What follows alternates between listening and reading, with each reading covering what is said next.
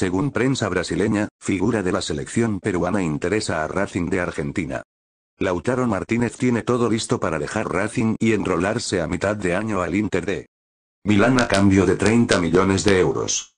El atacante de 20 años dejará un vacío muy importante en la zona de ataque, que buscarían llenar con el fichaje de Paulo Guerrero. Figura máxima del Flamengo. Paulo es la principal opción según reportan medios brasileños. Paulo Guerrero es una de las grandes opciones que persigue Racing para cubrir el vacío que dejará Lautaro Martínez. Con el ingreso millonario por su venta a Inter de Milán, habría presupuesto suficiente para fichar al delantero de la selección peruana, cuyo pase costaría 3 millones de dólares.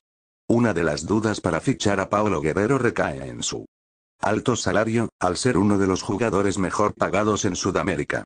El jugador de la Selección peruana está a menos de un mes de volver a quedar habilitado para practicar fútbol, luego de ser sancionado por seis meses por la FIFA.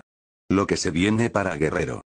Paulo Guerrero ya ha despertado interés anteriormente por clubes argentinos como Boca Juniors, aunque nunca se llegó a concretar una propuesta.